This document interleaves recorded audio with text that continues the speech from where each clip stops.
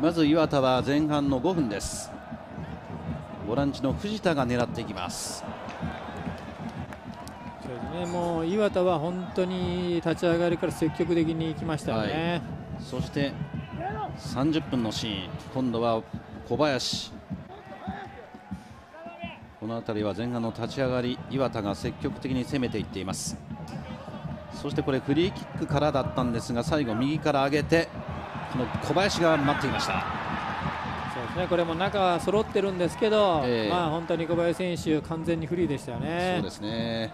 松浦選手の本当にクロスも速くていいボールでしたけどね。はい。前半はこの小林のゴールで岩手が1点を先制。1対0で折り返して後半。16分。シュートを打って富井が弾きますそうですねこれも後半こういう形でどんどん来ましたけどね、えー、そこで決めきれなかったっていうのがありましたよね。そうですね。さらに今度は群馬30分。青木浩太のシュートを待ってフリーキックがこれ立て続けに3つ続くんですね。まずはダニエル・ロビーニョ。これは枠を捉えることができませんでしたそして中へのボール。混戦から最後小林がヒールシュート。岩田もかき出します。そうですね。これは面白いシュートでしたけどね。決まっても面白かったようなゲームでしたけどね、えー、そしてこのシーンが後半の43分です。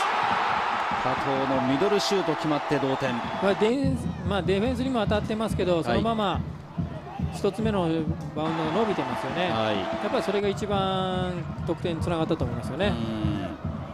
最後、岩田も山崎のシュートでチャンスを迎えましたが得点には至らず。